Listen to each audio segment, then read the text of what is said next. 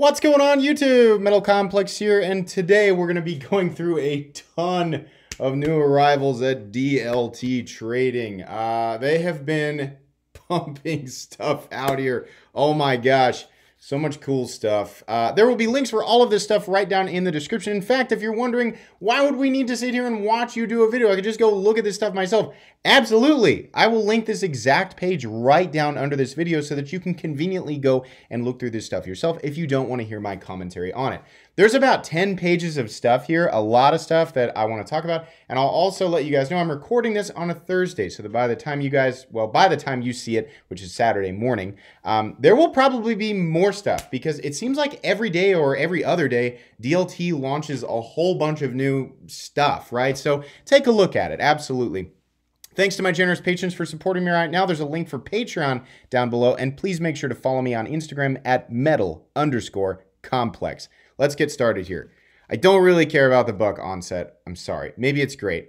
Whoever got this, you beat me by one second. I was in the gym and I that I reloaded the page and it populated. And I was like, oh my gosh, I'm finally gonna get a Sith Lord Ultra Tech.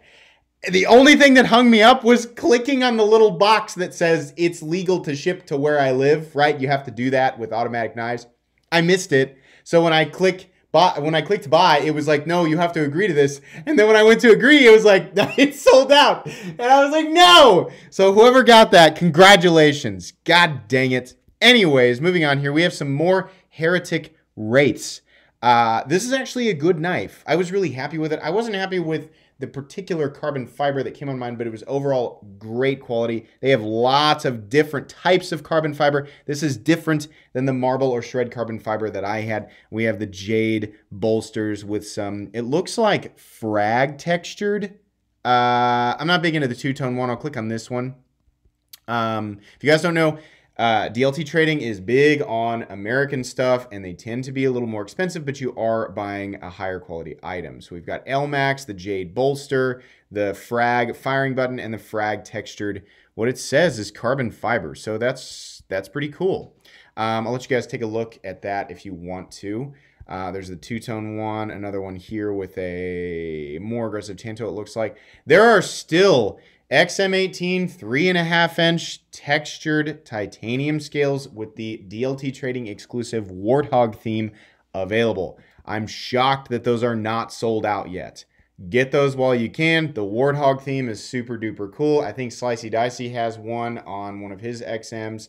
Um, but yeah, they still have Battle Blue and Gold, Battle Bronze, and uh, Raw Tie, and then the Battle Blue and Raw Tie. Um, the machining is really, really good on these, and they are 100% factory Hinderer scales. These are the real deal, so they will fit just as well as everything else. The new Rockstead, well, is it new? Psi T ZDP? There you go. If you want to spend two grand on a knife, right? Then the Ren ZDP. I own a Rockstead. They're great. They're a lot of money. Higo 2 and DLC tie. This is the same thing that I own, except it's a titanium frame lock uh, instead of a liner lock, right? So there you go, 250 less than the Higo 2 liner. There's uh, the standard Higo, probably the least expensive Higo with the frame lock for 900. Uh, so there you go. The shoe, which is a button lock, believe it or not, a button lock titanium Rockstead. So for those of you wanting to spend that much money, I know less than 1% of my audience, but I'm pointing it out. There's always people in there. Somebody snagged the uh, very sought after Desert Ironwood Ironwood handle uh, Higo 1, right? Uh, moving on here, there's some more things. Um, RGT Timascus uh, Reeve clips. Interesting. Uh, William Henry Lancet Nightline, titanium and carbon fiber ZDP 189 core blade. So is it a San Mai? Let's take a look. I don't see a lot of William Henrys, right? Is this a button lock? Yeah, features a light and resilient bolster and aerospace grade titanium and scale and carbon fiber. The blade is stainless three layer, so I guess, yeah, San Mai, uh, with an extra strong core of ZDP 189. That's really cool. Um, one handed button lock. That is pretty sick. Um, William Henry is a legendary legendary knife maker. Um, so I'm kind of surprised I'm looking at a $550 William Henry. I'm used to seeing multi-thousand dollar William Henrys. I would imagine there are more production elements in this versus some of his fully handmade customs, but still, Sanmai ZDP and a button lock on a nice little uh, thumb stud deployer, a little gentleman's, uh, as much as I hate that. Uh, these are numbered, by the way. As much as I hate the term gentleman's knife, right? Oh, look at that button. That is sick. That's really nice. That orange and black carbon fiber. Man, that's cool. Um, it looks like there's one.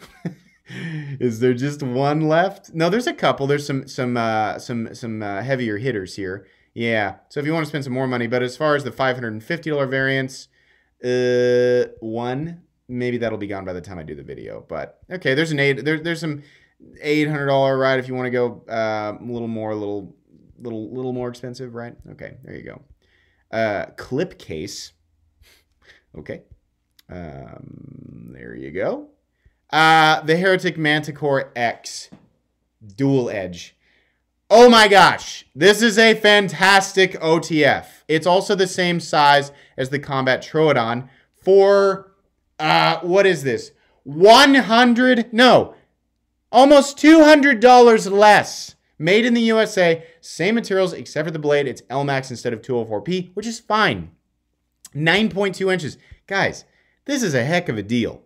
I, I can't believe somebody hasn't bought this yet. I've got one here. Uh, it's amazing. It, yeah, uh, I would say grab it before the prices go up on those things. I mean, again, it's like don't don't let me I'm not trying to pressure you guys into spending $300 on a knife or whatever, right? But for those people who were going to do it anyway, and you're just wanting to know what's out there, yeah, that Manticore X is awesome. Olight Warrior, I think they've got some new additions. Olight uh, Warrior Mini 2. That's one of my favorite flashlights right now is the Warrior Mini 2. Not a crazy high lumen count. I mean, it's like at 1500 lumens, but I mean, honestly, that's way more than I'll ever need. Most of the time, the light output that I need is about three to 400 lumens max. So while I do have flashlights, I own flashlights that are capable of six or 7,000 lumens. That's massive overkill for me. The Olight uh, Warrior Mini 2 is awesome. You can get it in aluminum for cheaper, but these titanium or special edition ones, $139, right? Check those out if you want. Um, they have a ton of fixed blades. I know that uh, people who are big into fixed blades or and or bushcraft are um, big fans of DLT. I'm not a fixed blade person, so I cannot properly commentate on a lot of these. You can check out what they've got if you want. Lots of soloists, a whole bunch. These are huge. If you guys remember, two, three years ago, I reviewed the soloists. These are large folders for sure. Plenty of rainmakers. That is officially my favorite uh, model from Olamic Cutlery. The weight of the blade makes this thing flip really well, and I think the action is a little better on these guys than some of Olamic's other models. They are expensive, but there are major custom elements in these things, and they are premium U.S. products. Awesome uh, JG10 Tanto, two-tone Tanto, two-tone Tanto Ultratech. Um, that's pretty cool. They've got some bronze and apocalyptic. I guess they have like the apocalyptic bronze with the tan, right? If you want your knife to look like it's been buried in sand and mud for 200 years. So there you go. They always have tons of Ultratech. Somebody snagged an awesome one right there. I think that's copper. Yeah, pretty cool. Um, they've got some new uh, Ultratechs. These kind of look like Stormtrooper. I don't think they're officially Stormtrooper. Uh, I'm sorry, Exocets. Um, but they do look cool if you're, you know, into a dog tag sized OTF. Uh, some more bronze variants. I have people always, always they they have more than the serrated versions, but it doesn't surprise me that some of the serrated bronze variants are still available. Lots of 247s. They always have 247s. Probably their most popular model. I have been infinitely intrigued by these Mech Force Mech Torch lights, mainly because of how they look um, this one right here is particularly cool. Um, 260, right? There's a lot of uh, cool machining in here, and these slots are tritium slots, right? I've done that before, just a little bit of glass glue and some tritium, and you can add whatever color you want. Um, the max output is about 1300 lumens, right? So people, I know a lot of flashlight people will say, you know, X amount of money for so many lumens. There are definitely $250 flashlights out there. I've got one right here. Like I said before, I've got a flashlight that's about 2 to 250 that'll put out way more in terms of power. But I've learned that it's not really all about that. You know, I mean, it's neat, it's impressive, right? But it's kind of like when you emphasize, you know, the steel and the potential edge retention, and that's how you measure the value of a knife, right? There's a lot of other elements when it comes to a knife. I don't know anything really about these lights, uh, how much people like them or they don't, right? Whatever. Um, but uh, there's all the specs and everything for those uh, those of you who are flashlight people, right? Um, looks like it uses an 18350 rechargeable. So I just like how they look. And I like that they're like a bajillion different shades of titanium. These Gen 2s, blue, light blue. They've got green, they've got raw, stonewashed, etc. Hatchets, neat. I've honestly been tempted many times to buy a hatchet from DLT. Not yet, though. Uh, more rates. There you go. There's still an XM 18 3.5 inch skinny titanium scale in working finish uh, or battle blue. It's basically anodized working finish. Um, Eclipse hardware. Okay. There's the uh, the standard version, the Olight Win- uh, Olight Warrior Mini 2 for $89.95. Uh, Excellent. It's got a magnetic tail cap as well, and it has that magnetic charging thing mm, button uh, on the side and on the back. And it's got the attitude adjuster. Is it a strike bezel? I don't know. I'm not. I'm not. I'm not the main flashlight guy. The Spyderco Tough, uh, the DLT Trading Spyderco Tough is still available. This is a tank of a spot. This has got to be. I know. Yeah, you should sign up for uh, product alerts through DLT Trading when it reminds you to do that because they drop so many cool things. This is a tank of a Spyderco, guys. Um, thick blade stock, thick titanium, and it does have, even though it doesn't look like it, it does have a lock bar insert. Can you see that little sliver there? On the one that I've got here, I was surprised to see that it has a lock bar insert and over travel stop. You can actually see the over travel uh, between the uh, in the gap there between the frame and the, the lock. Um, $315 knife, and it is certainly one of the weirdest looking Spydercos I've ever seen, but it is purposefully built. It's very comfortable, um, and it's very smooth. It's running on phosphor bronze, so that is, you know, of course, with a combination of CruWear, we definitely have an expensive but very capable uh, Spyderco knife that's a frame lock, so that's kind of neat.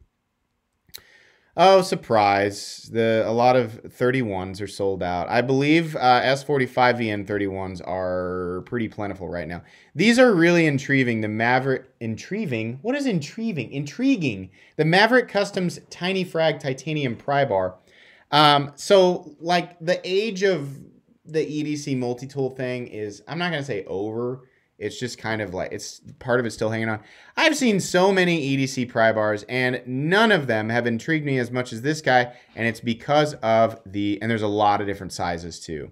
It's because of the mounting position of the pocket clip uh, and the fact that it is a pry bar slash bottle opener. That's all I've ever wanted in something like this, right? The teeny tiny one, I don't know. It doesn't look like any of the tiny ones are still available, but the larger ones, and there's some medium size and some smaller medium size ones.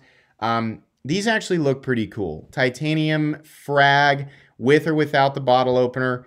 Um, I would definitely me personally i would get one with a bottle opener right? Um, there's some crazier stuff right? There's a whole bunch of these. These are cool. Um, and then i prob personally i probably wouldn't go. So they have there's 5.5 they have 5 inch versions um, and then they have the one that i would probably go for is is it on the next page? Kansas internet. Hang on guys. Still 5 inchers here. Uh, What's the deal? Golly, there we go. God. Four inch. The four inch version is probably what I would go for. Uh, darn it. The one that I would go right there is pretty cool. Um, there's a good one, right? Um, but yeah, these four inch versions look pretty awesome. Um, I think that might be fairly easy to carry. If you're somebody who likes to carry stuff like this, that one right there is super cool. 95 bucks, I don't think that's terrible, right? Microtech Hera, stonewashed. I have one. These fire surprisingly hard. Definitely harder than the UTX 85 and Troodon that they are um, they're they're similar in size. It's more similar in size to the Troodon. Big old ball bearing uh, clip on this guy. There's a little more going on with this than the Troodon. I think 426 is a bit high. I have not reviewed this yet. You guys will see the unboxing, I don't know, somewhat soon. This is the picture I want. There we go. So there's the pocket clip, right?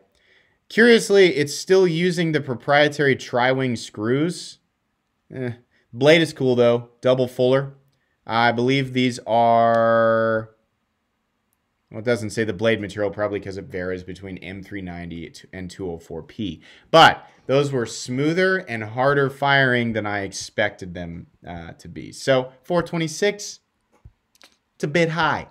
Uh, but then again, you know, Microtechs tend to be a bit high. Um, so you can make that choice for yourself. Wow, that Combat Troodon Bowie is still there. The carbon fiber and Damascus one. Very expensive. I believe that's a signature series, so it has all the extra spiciness, right? I'm sure somebody will pick that up eventually. And in my opinion, the coolest one on the website. Very expensive. But hey, we've talked about Rocksteads already. Why not talk about a $1,200 Microtech? Look at this. This is crazy. Man, that is super cool. So we have the carbon fiber on one side, and then is this like razor wire? Oh my gosh, that plate is gorgeous. Oh, what do we have here? Uh, nothing. It's not going to tell us what kind. I don't know if that's Vegas Forge or what that is, but it's premium, real deal Damascus. That is a super. I'm I'm shocked that that's still there. Um, I guarantee they've. Well, I can't. I don't know because I don't work for DLT Trading, but I would guess they only have one of those. Some new Medfords. Um, these are not the ones that I wanted to bring to your guys' attention. Uh, there's a ton of so many fixed blades companies I've never even heard of. Lots of American stuff. The Winkler knives I've definitely heard of. I know that these are popular. Um, in fact, I think I've shown one on the channel. I can't remember. 2,000 uploads. It's really hard to remember everything that I have shown on this channel. The Bravo ones, of course, those are like all, but totally gone. I think there's a couple of Bravo ones in 3V still lingering. If I find it, I'll point it out. Um, but uh, yeah, Bravo 1.25 LT and S45VN, there's one of those still there. Uh, smoke jumper, I don't know who makes the smoke jumper. Is it is it Bark River? Uh, I guess it. Yeah, I think these are all Bark Rivers. I know. People are probably telling me like, how are you not familiar with Bark River? I've only ever handled one, and it was the big, like almost machete-sized um, uh, Bravo Two, which is the Bravo Alpha and 3V in some Sure Touch, blue black Sure Touch. I don't know what that. I don't know what that is. More alphas and some other materials. Um, so there, I'm sorry, fixed blade people are like, slow down. You can go look at this. Uh, like I said, link to all this stuff in the description. I want to get down to, there was something that I thought was really neat, and I can't remember if I talked about this the last time. Somebody got, somebody picked up a while back. Somebody picked up a Malibu from DLT. So congratulations. The Godfather in rose gold. I still think those are super cool. That is a way, way cooler and way bigger knife than I ever knew until I recently, well, somewhat recently reviewed it. Um, so yeah, if you like that kind of old school stiletto, you know, looking switchblade, then yeah, then you you might enjoy that. There's the regular Manticores. These are much smaller. But if you like a smaller OTF, 280 bucks. This is a little bit more robust than, I think, like wider than the UTX 85. It's somewhere around that size. I haven't actually handled it. Lots of XM24 micarta. I'm sorry, it says canvas micarta, scales smooth, uh, textured, right? Whole bunch of stuff. Three and a half inch micarta scales. Uh, I think that uh, this, there's some skinny micarta scales. I think that would look really good. Lots of wild Smiths. Uh, Smiths. I'm. I talk good today. Talk good. I do. Yes. Uh, lots of interesting Swiss Army Classic SDs. Right.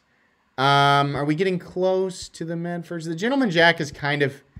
It's kind of interesting. I don't know. Um, I think the most. I have not been super duper interested with anything Medford has been doing here lately, except for one thing, and I'll point it out. The McNeese PM Mach 2, there's a couple of those still available. Are we into the, yeah. So both on, uh, I'll show you this one. Medford's new finish on some of his DLC and stonewashed variants is now hyper reflective. Um, I think this looks way better than their old. This is like on my Dark Horse, the reflective tumbled DLC that I've got. That's pretty much what you're looking at um, on on these guys, and the same thing carries over to Let's see if I can find one. Um, maybe maybe one of these will have a similar. Their new tumbled finish is also much more reflective, but I don't know that it's going to um, actually show up on camera here. That DLC really showed it off. I don't think that one's actually got it. I wonder if I can um, go and find it here because I, I think we're pretty much giving I'm sorry, we're pretty much getting into stuff that I have seen or stuff that's older. It's been on the site for a while. Those Heretic Nephilims are awesome. They're expensive, but oh my gosh, that's a good looking fixed blade. Uh, yeah, I think so. So hang on. Let's see if we can get to uh, P-R-A-E-T-O-R-I-A-N. Is that how you spell Praetorian? Um, Let's see if I can find a tumbled uh, uh, Praetorian um, that has that new hyper reflective finish. See, here's the older, like the standard PVD. It's just flat, much less reflective. There's the um, satin, um, but the new tumbled ones, I remember catching it even in the pictures. I remember going, oh my gosh, that is way different. I wonder if they sold out of all of them.